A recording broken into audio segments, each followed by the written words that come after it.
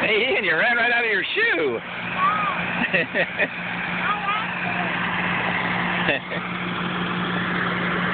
cool.